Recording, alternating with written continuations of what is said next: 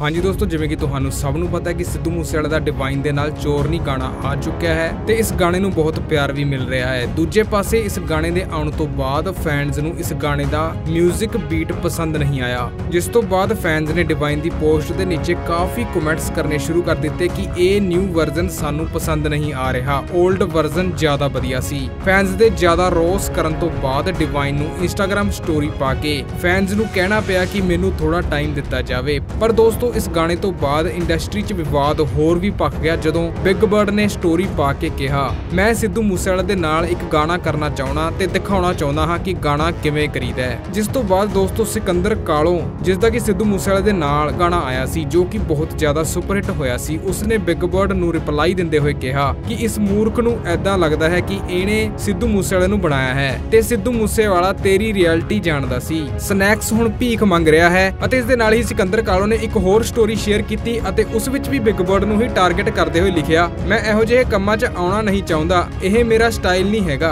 ਪਰ ਪਲੀਜ਼ ਆਪਣੇ ਮੂੰਹ 'ਚੋਂ ਮੇਰੇ ਭਰਾ ਦਾ ਨਾਮ ਨਾ ਲੈ ਉਹਨੇ ਤੈਨੂੰ ਬਣਾਇਆ ਹੈ ਤੇ ਤੂੰ ਇਸ ਦੇ ਲਈ ਉਹਦਾ ਗ੍ਰੇਟਫੁਲ ਹੋਣਾ ਚਾਹੀਦਾ ਹੈ। Shut the fuck up work hard ਕਰ ਤੇ ਰੱਬ ਹਮੇਸ਼ਾ ਖੁਸ਼ ਰੱਖੂਗਾ ਤੇ ਆਪਣੀ ਈਗੋ ਛੱਡ ਦੇ ਤੇ ਸਾਡੀ ਸਾਰਿਆਂ ਦੀ ਹੈਲਪ ਕਰ। ਸਿੱਧੂ ਦੀ ਲੈਗੇਸੀ ਨੂੰ ਬਣਾਈ ਰੱਖਣ ਲਈ ਤੇ ਇਸ ਸਭ ਤੋਂ ਦੂਰ ਰਹਿ।